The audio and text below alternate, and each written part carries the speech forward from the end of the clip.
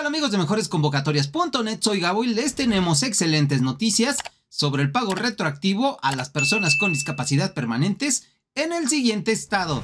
En el marco de la conferencia conjunta en el estado de Nayarit, celebrada con la secretaria del Bienestar Ariadna Montiel Reyes y el gobernador del estado, se hizo el señalamiento de la entrega de retroactivo para las personas con discapacidad permanente. Les dejamos a continuación el señalamiento de la propia voz del gobernador del estado.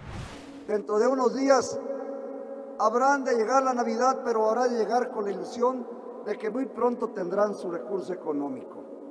5.800 pesos de dos bimestres que le va a entregar el gobierno de la República y habrá de coadyuvar en su parte el gobierno del Estado. Por eso, aplaudámonos de corazón todos nosotros. Recuerden suscribirse y activar la campanita para que no se pierda ninguno de los avisos sobre la pensión de discapacidad permanente. Nos vemos en la siguiente convocatoria.